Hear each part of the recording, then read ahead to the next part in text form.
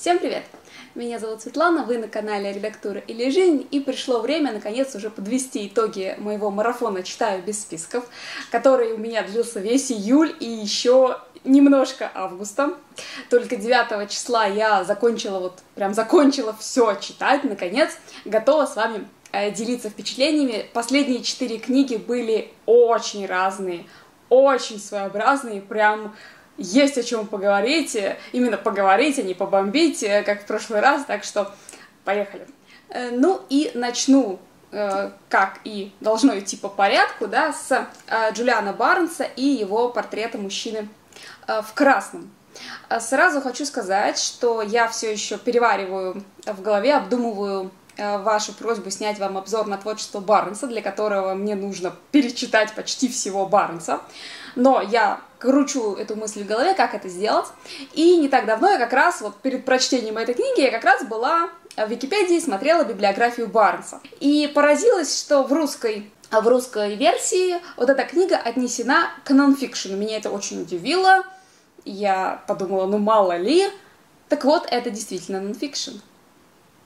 Неожиданно, совершенно вот внезапно, никто об этом меня не предупреждал, вы тоже в комментариях ничего такого не писали.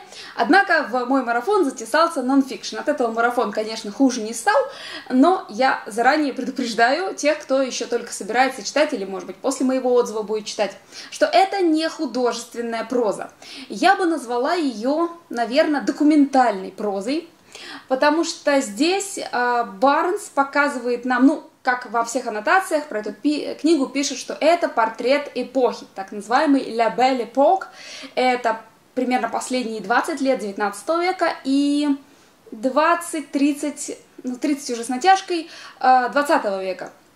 Это действительно так, э, но помимо этого здесь еще и Барнс показывает Тут уже вопрос, показывает ли он действительно так, как он это сам делал, или это условно некий лирический герой, э, рассказчик этой истории, он показывает, как идет работа э, с материалом, то есть как мы, потянув за одну какую-то ниточку, да, вот увидели какую-то деталь, в данном случае это был портрет, э, мы начинаем раскручивать цепочку, и здесь у нас постоянно э, идут прыжки, прыжки в разные стороны. То есть мы не, не просто держимся одной линии. Это не биография. Вот еще хочу подчеркнуть, что это не биография в прямом смысле этого слова. Хотя, да, книга заканчивается со смертью э, центрального персонажа. Опять же, это реальное лицо. Чуть-чуть позже о нем поговорим. А, но не начинается с его рождения, вот знаете, там детство, школы, нет. Начинается с того момента, с какого Барнсу захотелось начать. Вот он потянул за какую-то вот точечку, да, и рассказывает нам не только про героя, про ближайших, а, окру, ближайшее окружение этого человека, но и постоянно делает какие-то отсылки. Упомянув чью-то кузину, мы перепрыгиваем к кузине, говорим про мужа кузины, э, там целые несколько страниц или абзац, да, и потом возвращаемся к обратно, может быть, в тот момент, в, э, на, на котором мы прервались, да, на кузину, а может быть, совсем другой момент. В книге нет глав, в книге вообще нет э, как бы структуры в привычного нам понимания, ни частей, ни глав, ничего. Есть только пробелы, которые вот отмечают эти вот прыжки. Мы можем сейчас быть э, в конце 19 века, через две страницы мы уже в 20-х годах 20 века, потом мы снова вернулись, то есть тут мы можем обсуждать женитьбу героя, тут мы можем обсуждать детство героя, тут мы можем обсуждать уже выросших детей героя, тут мы можем обсуждать вообще левых людей. Мы постоянно, э, постоянно прыгаем от одного к другому. Таким образом, да, у нас рисуется достаточно полный и интересный портрет, но надо понимать, что это именно портрет в определенных слоях общества. Понятно, что для простых рабочих, простых крестьян в эти годы не было никакой лабели пок, да, был, была обычная пахота и обычные трудовые будни. То есть мы затрагиваем все-таки увядающую, уже увядающую аристократию, в первую очередь французскую, э, и интеллигенцию. Э, но несколько слов о том, э, кто же стал главным героем этой не художественной книги, потому что это прям очень интересный человек, поговорить о нем хочется, даже если вы не будете читать потом э, эту книгу. Итак, у нас здесь с вами э, кусок картины Саржанта, который называется отнюдь не портрет мужчины в красном, я сейчас повешу здесь полностью эту картину. Она называется «Доктор Потци у себя дома или у себя в кабинете. Э, то есть с самого, с самого начала известно, кто изображен на этой картине. Это доктор Сэмюэль Потци, очень популярный доктор как раз в те годы, про которые и пойдет здесь речь. Но не просто он, знаете, популярный доктор, то есть модный доктор. А доктор Потци, как оказалось, да, был очень и очень важной и знаковой фигурой для всего развития медицины в то время. Потому что именно Потци, он заведовал хирургическим отделением в клинике, он активно внедрял и впоследствии ездил с лекциями и всячески пропагандировал, насаждал, доказывал, убеждал э, важность асептики и антисептики в медицине. Э, чтобы вы понимали, когда он поехал э, рассказывать в Америку о своем методе, о том, насколько снижается смертность просто от того, что э, люди моют руки перед операцией, врачи моют руки перед операцией, от того, что бинты стерилизуются, от того, что белье э, постельное меняется, да, перевязки делаются э, вовремя и с соблюдением правил. Вот он ездил и рассказывал о таких, казалось бы, ну, банальнейших вещах. В Америке он получил от одного человека ответ у джентльменов всегда чистые руки. Нет, вы, вы только вздумайтесь. Еще 150 лет назад считалось, что врачу можно не мыть руки, потому что он джентльмен удачи, видимо, да. Удача должна была сопутствовать его пациентам, чтобы они вообще выжили после такого. Поэтому Поци, э, внедряя вот это все, он, конечно, существенно снизил смертность, в том числе после хирургических вмешательств у себя в больнице и э, там, куда ему удалось свое влияние распространить. Но помимо того, что он был хирург, и он и в хирургию тоже привнес многое, он был сторонником скорейшего, э, скорейшего оперативного вмешательства, то есть в тех случаях, когда опухоль достигала вот таких размеров, э, Потци не говорил, а давайте еще подождем, может, само рассосется.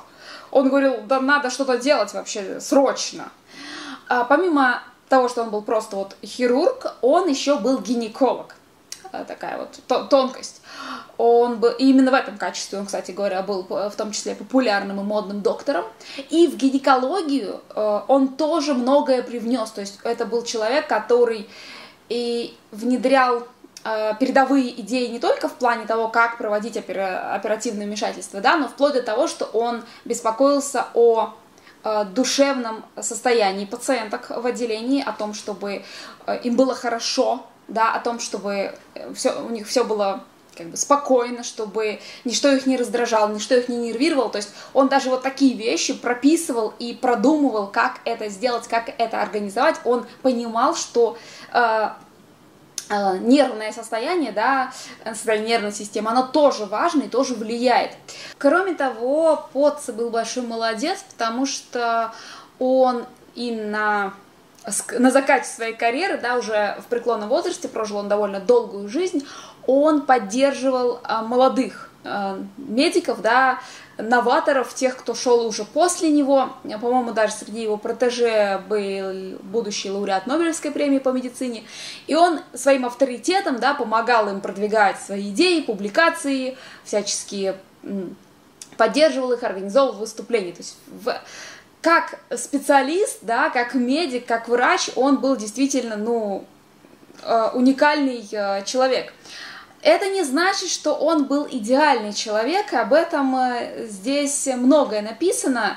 То есть, допустим, у него не, не, не было счастливой семейной жизни он, наверное, можно предположить, что не был э, супер идеальным отцом для своих детей. Э, интересный момент еще один в этой книге, что Барнс, в принципе, не занимается домыслами. То есть у нас не нон-фикшн, когда мы именно вот реконструируем да, э, биографию, пусть даже не в хронологическом порядке. Нет, Барнс нам только цитирует доступные источники. Это могут быть статьи, какие-то интервью, чьи-то дневники, он сам не домысливает ничего. Там, где можно было бы условно покопаться в грязном бельишке, а Барнс ничего этого не делает. В общем, я получила от этой книги своеобразное удовольствие, да, читается она не быстро, потому что, как я уже сказала, в ней нет структуры, э, мы просто э, прыгаем во времени. Да, портрет эпохи получается очень наглядный, очень интересный. Э, конечно же, не не прошел Барнс мимо и самых громких событий, ну потому что его герои не проходили мимо, ну, таких как дело Дрейфуса, например. Здесь есть очень интересные культурные отсылочки, например, здесь фигурирует пуля, убившая Пушкина. Напоминаю, что Пушкину не делали операций и не извлекали из него пулю, то есть какая-то, но какая-то пуля, убившая Пушкина, здесь фигурирует. А, фигурирует нагар а, Асидор Дункан, например. Ну, в общем, любопытные всякие артефакты людям, которые интересуются именно этой эпохой в Европе. Я очень-очень э, рекомендую эту книгу. Она, кстати, обильно иллюстрирована и не только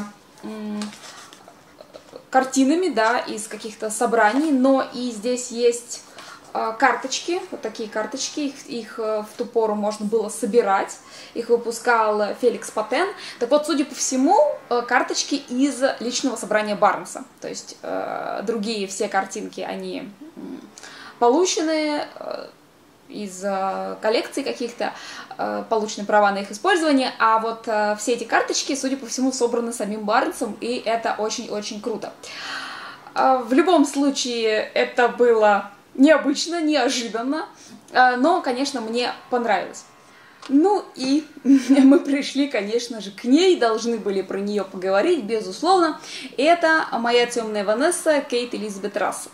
А сразу хочу сказать, что я поняла, я тут э, прогремела несколько э, жарких дискуссий на Буктюбе, пока я читала эту книгу, я поняла, что самое главное в обзоре не сравнивать ее с Лолитой, не проводить каких-то вот а, параллелей, и я этого делать не буду, хотя должна сказать, что книга, Лолита как книга играет важную сюжетную роль а, в этом произведении. Это прекрасная книга. Во-первых, я сразу хочу отмести обвинение в простоте ее языка, а, потому что здесь совершенно нормальный язык, более того, правильный язык. У нас здесь две временные линии, Э, наша главная героиня Ванесса, у нас есть более масштабная линия, да, где ей 15, ну и впоследствии 16-17 лет, и эти куски занимают гораздо больше текста.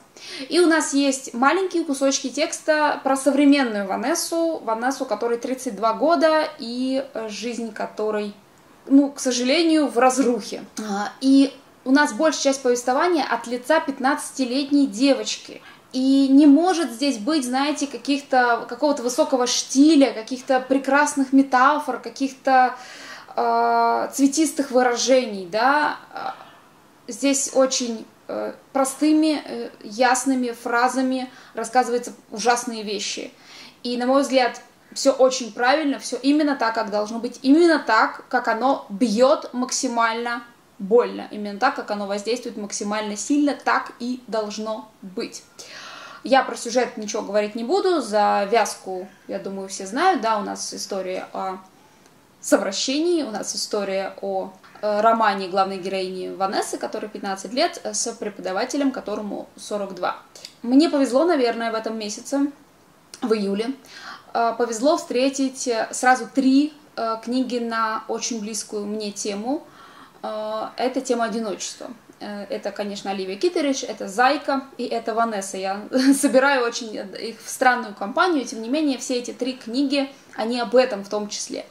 И в то время как Оливия Китерич, она во многом о сознательном одиночестве взрослой женщины, уже не молодой женщины, э, то есть э, про одиночество человека, который сам очень хорошо понимает людей, но не получает удовольствия от общения с ними то Зайка и Ванесса – истории одиночества подросткового. И это очень-очень мне понятно и близко. Я считаю, что оба автора прекрасно выписали эту тему. И э, Рассел раскрывает нам просто во всей красе вот этого вот очень одинокого да, ребенка, 15-летнюю девочку, которая вдали от дома, она в, живет в общежитии при колледже. И ей так хочется поддержки. Ей так хочется быть особенной. Не, то, не, не, не когда героиня Янга Далта плохого, да, ей так хочется быть особенной в чьих-то глазах. Ей так хочется чего-то восхищения. Это такие понятные эмоции, которые испытывал, наверное, почти каждый из нас, когда был подростком. А, и такой легкой жертвой она оказывается. Это так здесь видно, так автор это вот От этого так страшно эту книгу читать. Потому что она прямо, ну как птица залетела в селок. То есть у нее не было шансов, ну вообще. Не было у нее ни подруги какой-то доверенной, да, не было у нее ни каких-то академических, может быть, успехов, э, чтобы у нее было, да, уважение э, окружающих. Она была очень одинока, и она была очень податлива, она была очень внушаема. И э, этим очень жестоко воспользовались. Я видела э, возра... ну, как бы критику на тему ну, а чего она такая, как бы, бедная Это У нее же вроде все нормально в семье, да, там родители не бьют. Это так восхитительно. Люди считают, что родители не бьют, равно у подростка доверительные отношения с родителями. Это вообще про разное, да, то есть, да, у Ванессы нормальная семья, да, ее, да, у нее мама, папа, э, она, они как бы э, обеспечивают ей, да, одежду, жилье, учебу, да, то есть а, а, нормальные родители, как бы действующие абсолютно так, как положено родителям.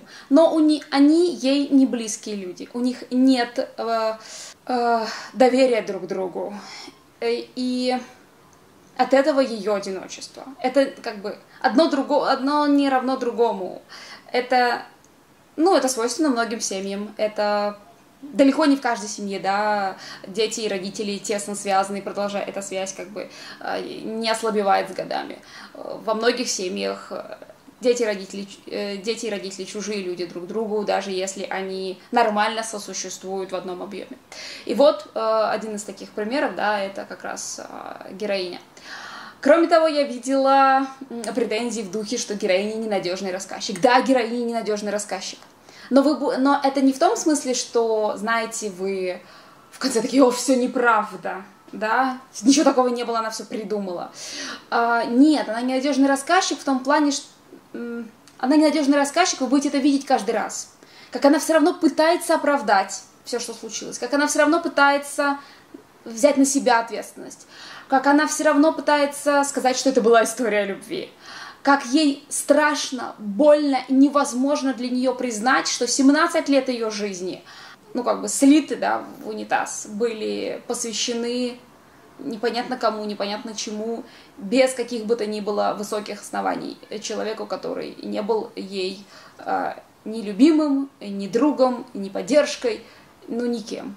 Э, отдельный плюс автору за сексуальные сцены, их здесь практически нет – наверное, две, и это прямо вот э, чистая физиология, то есть а, автор э, буквально уделяет, наверное, маленький абзац, два-три предложения всему процессу, и то, как она это делает, оно, конечно, только подчеркивает э, антиромантизм происходящего. Очень здорово написанная книга. Я очень рада, что я ее прочла. Э, очень безусловно, сочувствую героине. И мне кажется, объединяющие еще вот тех, те три книги про одиночество, которые я читала в этом июле, это надежда, которая проблеск надежды, да, в финале книги, то, как все три писательницы, как они не позволяют э, превратиться всему этому в какие-то розовые сопли, в, какие, в какой-то слащавый хэппи-энд, нет никаких соплей, нет никакого слащавого хэппи-энда. Как это лишь проблеск надежды, как мы говорим лишь о том, что выжить после всего этого, справиться с, с подобным можно только маленькими шажками. Один шаг за один промежуток времени. Медленно, больно, тяжело, просто одни, как бы не сдаваясь, да, маленьким шажочком каждый день. Никаких э, фанфар, никаких внезапно появившихся э, супер друзей, каких-то внезапных откровений, что на самом деле мир тебя любит, ты всем нужна, вот ничего этого нет. Э, и это правильно, потому что так не работает, так не бывает. В реальность происходящего здесь ты просто не сомневаешься ни секунду, что так оно и было. А, те, кто посмотрел мои планы, надеюсь, вы посмотрели мои планы на ближайшее время, вы уже, в принципе, знаете, что я планирую э, в конце августа читать второй и третий том из цикла «Круги воронов» Сири Петерсон, потому что, конечно же, мне понравился потомок Одина. Ну, шансов, что мне не понравится, было, ну, вообще мелкоскопическое, мелкоскопическое число было. На самом деле, очень классная история. Напоминаю, у нас здесь девуш, девушка Хирка, ей 15 лет, и она обнаруживает, что она единственный человек в огромном мире, населенном имлингами. Это не люди, да, у них вообще хвосты есть. Э, они к людям относятся плохо. Ну, то есть люди для них это скверно, это что-то э, несущее беду. И до поры до времени, да, Хирка была не в курсе о том, кто она такая, и окружающие были не в курсе. Ну, вот э, в этой книге все раскрывается, и, соответственно, ей предстоит как-то что-то делать, чтобы вообще выжить и спасти свою жизнь. А, из интересного, э, в этой книге повествование не только от лица Хирки, что было для меня неожиданностью, но и от лица ее друга Римера и от лица антагониста. А, с антагонистом вышло интересно, потому что я, ну, воспитанная да, на старом эпике, я все, все, все каждый раз, я почему-то ожидаю, что антагонист, он, знаете, один большой на, на, на весь цикл, но, как уже не раз бывало, да, а, антагонист а, здесь только на один том. В следующем томе, очевидно, будет какой-то другой антагонист. Но от лица, повествование лица антагониста было тоже очень э, классным. Во-вторых, ну, сама Хирка прекрасно, на мой взгляд, выписанный персонаж. Девочка, девушка, которая, ну, не будет сидеть сложа ручки, не будет ждать, пока все само образуется. Она достаточно суровая, достаточно замкнута, э, но вместе с тем, да, она не намерена как бы пускать свою судьбу на самотек, и этим она, безусловно, вызывает уважение. Также меня поразило, я пытаюсь вспомнить, где-то еще... Да, вот в «Детях крови и костей», кажется, но та книга мне не понравилась.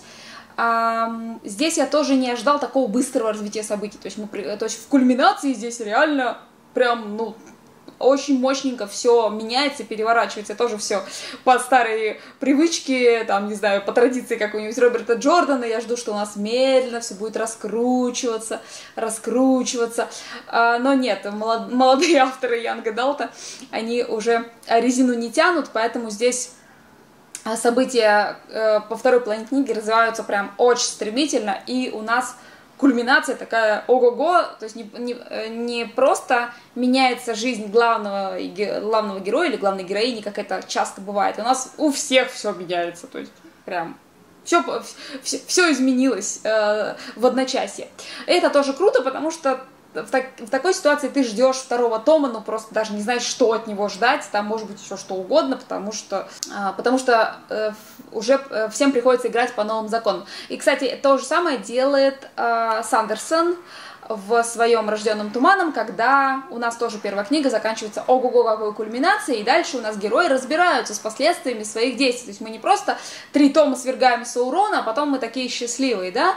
Э, все происходит гораздо быстрее, и дальше э, героям еще предстоит э, иметь дело с тем, что они натворили, то есть как-то расхлебывать ту, ту заваренную кашу, которая казалась им супер доблестным поступком и правильным и нужным.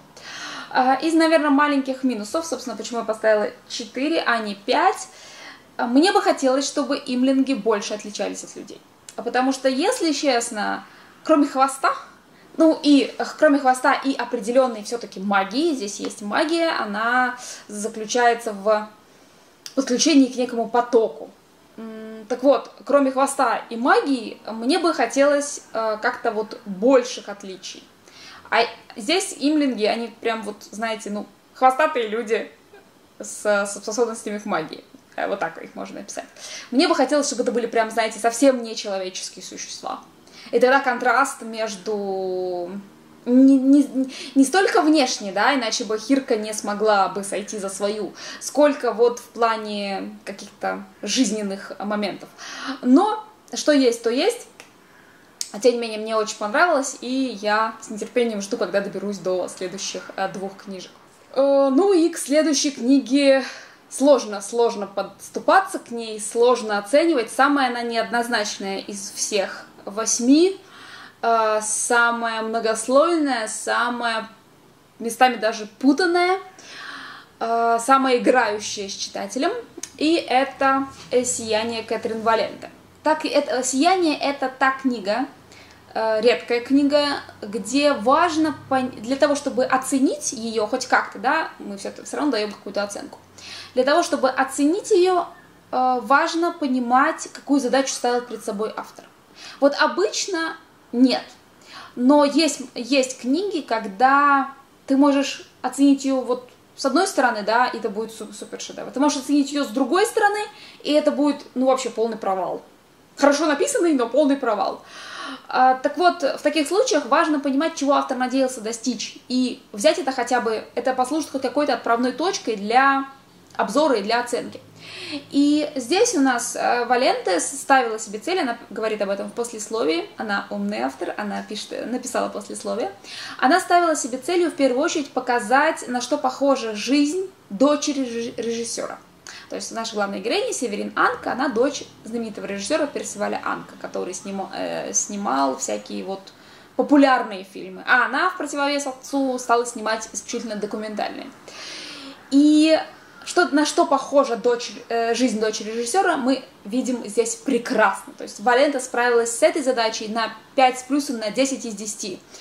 Э, жизнь ребенка, который, с одной стороны, все время в сказке, да, то есть он может попасть в сказку каждый день, ведь мы понимаем, дети, ребенок режиссера свободно проходит на съемочную площадку. Э, вокруг него оживают фантастические декорации. Э, вокруг него э, герои, в которых там влюбится весь мир, да. Но вместе с тем ребенок режиссера это человек, у которого постоянно разбиваются иллюзии, да. Потому что какой-нибудь Питер Пен завтра может заявиться на ужин к его отцу и оказывается э, небритым, почесывающим пузика, э, да, каким-нибудь коротышкой. Э, его так классно загримировали, что он был такой замечательный в фильме, а приходит и громко ругается, некрасиво ест, ну и вот, вот это все. То есть э, жизнь, а жизнь Северина, она была еще и постоянно под прицелом камеры, потому что Персиваль еще и постоянно снимал ее для домашнего архива какие-то моменты. То есть она вообще отца видела постоянно с камерой и смотрела на него через объектив камеры. И вот это все у Валенты показано фантастически. Ну, просто здорово, достоверно и, кру- и круто. А, но, да, в этой книге есть еще очень-очень много всего. И не факт, что всем и каждому это придется по вкусу. Это очень сложная книга для чтения, потому что она не просто нелинейна, она еще и не... Это не связанный текст это обрывки сценариев, это расшифровки каких-то съемок, это записи каких-то студийных совещаний. То есть это как иллюмина, да, где у вас э, из разных документов складывается история. Да, история не рассказывается, а она складывается из документов. Здесь у нас тоже история складывается из документов, но они еще и расположены в нехронологическом порядке. И это очень как бы, ну, сбивает, и читается, читается книга действительно нелегко. Потому что у Валенты совершенно потрясающий, богатый язык, очень глубокие метафоры, очень много их. То есть э, я вам, когда говорила про Митчелла, говорила, что если хотите изучить, как обращаться с метафорами, то читайте Митчелла. Да, но у Митч... Митчелл умудряется составлять метафоры да, из коротких, э, из коротких образов. Если же вам хочется чего-то по хардкорнее, да, то есть именно метафор, таких вот, которые как букет, да, одна фраза как букет, то это вам сюда, только с осторожностью, а, потому что их здесь действительно, ну, хватит на всех и еще останется.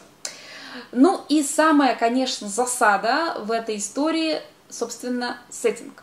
Потому что, если честно, у меня сложилось ощущение, что э, Валента не просто нам расписала жизнь режи... дочери режиссера, сам... которая сама режиссер, и нарезала нам разные куски из ее фильмов, и не только из ее фильмов, чтобы рассказать историю.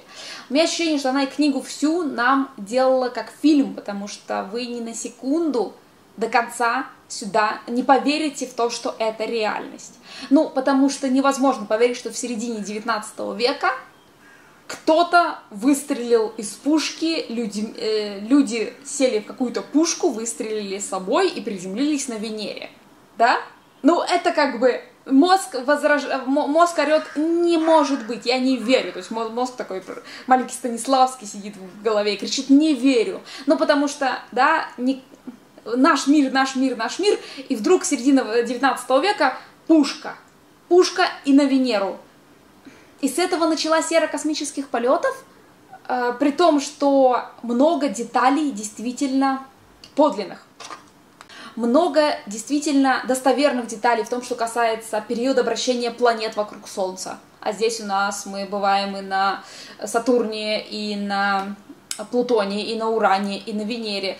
А, прям вот много именно деталей э, достоверных, научных, и они здесь есть, и Валента их э, с интересом как бы обработала и показала, как это влияет на жизнь людей на этих планетах, да. Но с другой стороны, когда ты их читаешь, и у тебя сменяют друг друга 1913 год, 1944 год, э, еще какие-то годы, э, в голове постоянный диссонанс, то есть что такое, ну как бы, как, как так, что, что история пошла абсолютно иначе? Тебе кажется, что да какая красная, э, какая может быть старт какой-то ракеты там, да, с Красной площади в 44 году война идет. Сложно очень с этим все, то есть, потому что мы практически не касаемся того, что произош... происходит на Земле, в каком, в каком состоянии, да, э, государства друг с другом, в каких они отношениях, что вообще происходит, как так все распределилось. Э, постоянное ощущение, что ты смотришь кино, да, что ты смотришь э, фантастическое кино, в котором автор, режиссер решил ничего не объяснять, такой, ну, знаете, выстрелили мы из пушки в середине 19 века, полетели на Венеру. И, и, и началось. И герои-то все относятся к этому на полном серьезе, а ты как читатель до конца не можешь в это поверить. То есть, и мне кажется, что вот, э, Валента этот барьер создавала намеренно. Но это мое личное мнение, я могу ошибаться. Поэтому книга, которую очень любопытно прочесть, э, книга, которая, да, много вот как бы канонов не спровергает, э, но это будет нелегко, э, еще и потому, что не совсем понятно, а какую историю хотела рассказать автор. Она начинает ближе к концу играться с концовками, те, те вкрапления, которые нам казались повествованием, уже оказываются не повествованием, то есть тут еще и обманки есть. И рассказали ли нам историю жизни Северинанг? Наверное, да, но с большими лакунами, э, с большими пробелами и с большими знаками вопроса. Раскрыли ли нам тайны, которые хотела раскрыть сама Северин? Для этого она летала и снимала свои документальные фильмы. Э, скорее нет, нам раскрыли, возможно, точку зрения других людей на эти вопросы. Ну и, разумеется, нам не объяснили, каким образом можно выстрелить людьми из пушки и попасть на Венеру. А, вот такая интересная книга. Она прям, она прям интересная. Да? То есть книга, которая заставит ваши мозги поскрипеть, книга, которой очень сложно составить, знаете, однозначное а, отношение, типа это шедевр или это отстой. Не получится. Не получится. Всегда будет что-то в этой книге, что будет вызывать у вас вопросы, и всегда будет что-то, чем вы будете восхищаться, но это лично на мой взгляд. Вот таким получился мой марафон «Читаю без списков». Это было максимально неожиданно, совсем не так, как было в прошлом году. Вообще, я много здесь было э, неожиданностей, сюрпризов, приятных и неприятных. Приятных, конечно, больше. Поэтому мы с вами, конечно, в следующем году повторим. Это прям experience, который стоит пережить еще разочек. И хорошая новость, надеюсь, что хорошая, будет еще два видео о прочитанном в июле, потому что я, во-первых, прочла огромную груду нонфикшена, я сосредоточилась на художке для марафона и при этом читала много нонфикшена. И все-таки был еще немножко фикшн, не вошедший марафон, вызвавший у меня дикий бомбеж. Э, все, кто подписан на мой инстаграм, те знают, о чем я говорю. Э, не поговорив о хромосомах, я просто не могу закрыть э, этот июль. Э, поэтому надеюсь, что уже следующее видео будет как раз о них. Спасибо, что смотрите, и надеюсь, следующий ролик уже скоро.